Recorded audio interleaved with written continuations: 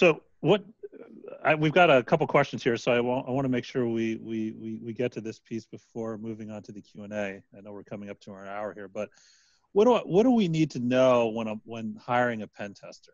Like, what is the what are the what are the kind of the filters that I should be looking at? Yeah, so I guess I'll jump in on that. You know, um, you should be looking for experience, right? Uh, a career in penetration testing naturally leads into also becoming a good security consulting and seeing the bigger picture, right? An experienced pen tester is going to take note of any other vulnerabilities that were identified along the way, but may not have been used as part of their attack path during the actual penetration test. Uh, so, you know, an experienced tester is thinking ahead and, and saying, if they don't fix this vulnerability, then it very well could be likely that I exploit it during the next pen test, or even worse, that uh, this company has a breach before then and a real attacker exploits it. So I'm going to point that out to a customer, right? And even though I may need to reduce the risk rating because uh, they're bigger fish to fry, so to speak. Um, I'm also going to explain it to the customer. I, like I've literally told clients, I rated this as a as a moderate because it wasn't exploited in my attack path, so it's hard for me to justify it as a higher risk rating without knowing uh, for sure the potential impact. But if it's not fixed, then it's definitely something that's going to be on my radar next year. Um, you know as as far as uh, skill sets i mean they should align with the project in hand. So ask for a professional bio and ask yourself is this is this a match? Certifications are great but as kyle said don't be fooled by alphabet soup either right? Um, some certifications are much easier to obtain than others. Um, it's also good to know what they did before become pen, becoming a pen tester right? Were they a defender? Were they a sysadmin, a network engineer, you know, or a software developer? Right. Personally, I think having some of that type of experience, that IT background, um, definitely brings something to the table. Um, as, as a former sysadmin, you know, I know all about time management and wearing multiple hats. So when I'm, you know, um, putting together my findings you know i'm looking at risk but also you know prioritizing uh, what you can fix quickly and and and what would have you know the most impact from closing those security gaps. Uh, as far as questions that you should ask you know again um, ask about their experience ask for a professional bio. But i also think uh, it's important to to key in on questions that maybe the pen tester didn't ask, right? Um, so if you're asking for a web application penetration test and you're shopping this around to a few different consulting companies and they haven't asked for a demo of the application, you know, to me that's odd uh, because how are they scoping it? Uh, the more questions that they're asking, I think the the you're in better hands, right?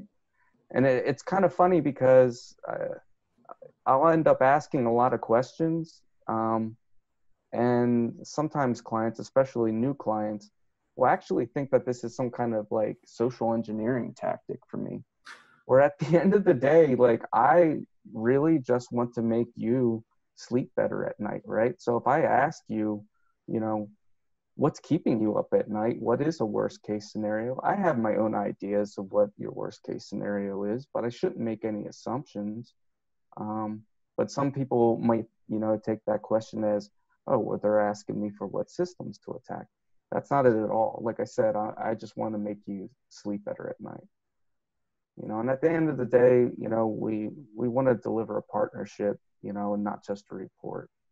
Um, and that's when you know you're working with the right consulting company right? So really get concerned if you start asking for my childhood address my favorite food in the school i went to? Yeah that might be going a little too far you know I, I, wanted to add though to what dylan said too is the pen tester is very important but the pen test firm is equally important uh, dylan is unique dylan's been pen testing for 10 years which means that he's seen a lot. He's seen, you know, network attacks, system attacks, you know, databases, web apps. He's seen everything. But a lot of the younger pen testers that are, you know, starting out uh, might be very, very good at one or two things. Uh, examples, web applications. You know, uh, being you know able to find those types of vulnerabilities is very, very different than a network pen test the uh, you know selecting a good pen tester is really about selecting a team of uh, pen testers that bring all of those skill sets together so that if dylan's working on an engagement and finds something that maybe he isn't familiar with somebody else can jump in and take a look and you know i think that uh, that says a lot too you know if you're a single pen tester uh, your capabilities are your own and that's it right yeah so I just got a really interesting question from LinkedIn of all places. Um, thanks for that, Stalker. I feel like this was a super obvious question and you guys have touched on it, but um, pen testing. Is this something I do once? Is this something I do a bunch of times? Like what what is what does that look like, you know, in 2020 and as we're looking forward to 2021? Let me start there and I'll let these guys maybe fill in some blanks and things uh, after.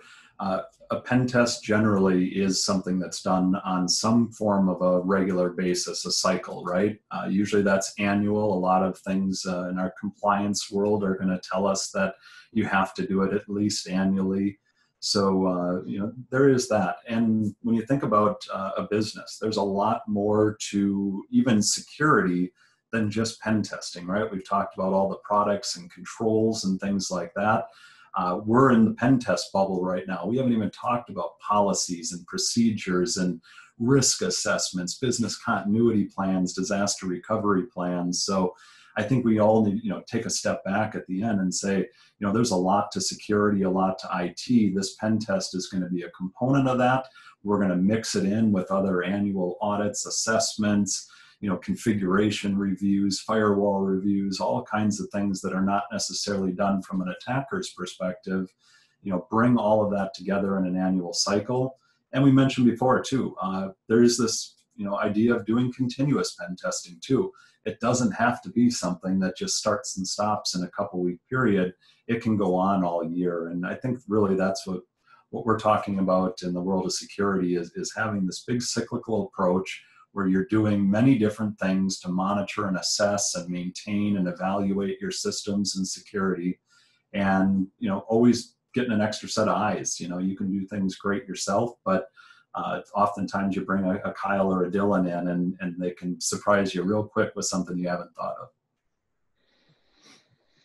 You know one thing i want to call out I, I think brian in your previous question that i think you did call dylan old um, so just want to make sure that that was uh, noted on on the record. But um, uh, there's a few questions here that th- most of these uh, did get answered in it. Um, how you know, I'm just just going to rattle off just in case anybody wants to add anything. But um, how should I? How should you action the information provided in, in a pen test? How how long is the information provided considered valid? I think actually maybe get a response on that.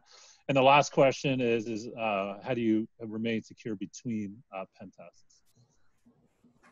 I can take the first part of that one. Um, how do you action? I think it was how do you action the different things in the pen test? And one of the things we do in our reports that hopefully helps our customers uh, deal with how to actually action things is when we're going through the penetration test, you're and at the end you're presented with a list of basically our findings and we rank those, you know, from an informational, which is the lowest severity, to critical, which is the highest severity. Um, and that severity ranking is one thing, right? So if something's very critical, it's, important you fix it. But another thing we do is we give you uh, suggestions on how easy or difficult it actually is going to be to, um, you know, remediate a given finding. So if something is, you know, um, gets a moderate for severity, but it's a super easy fix because maybe you just have to change a flag in a web application or or you know uh, turn off a certain feature in a in a uh, application or something like that. You know that's a good way to go after things something moderate severity but it's only going to take 10 minutes to fix go knock it out.